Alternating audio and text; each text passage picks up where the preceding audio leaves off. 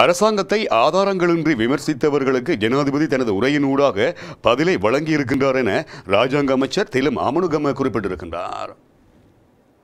அதே நேரம் உள்நோக்கம் கொண்ட சக்திகள் ஜனாதிபதியின் உரையை கண்டிக்கின்றார்கள் எனவும் அவர் குறிப்பிட்டிருக்கின்றார்.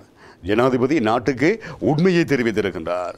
அரசாங்கம் எடுத்திருக்கின்ற அனைத்து நடவடிக்கைகள் மற்றும் நடைமுறைப்படுத்த முடியாத விடயங்கள் எதிர்காலத்தில் செய்ய வேண்டிய விடயங்கள் குறித்து அவர் தனது உரையில் தெரிவித்திருக்கின்றார் எனவும் ராஜாங்க அமைச்சர் குறிப்பிட்டிருக்கின்றார். மேலும் ஜனாதிபதி தனது உரையில் நடைமுறை சாத்தியமற்ற விடயங்களை தெரிவிக்கவில்லை. ஆனால் அவ்வாறான விடயங்களை எதிர்பார்த்தவர்கள் ஜனாதிபதியை விமர்சிக்கின்றார்கள் எனவும் அவர் மேலும் தெரிவித்திருக்கின்றார்.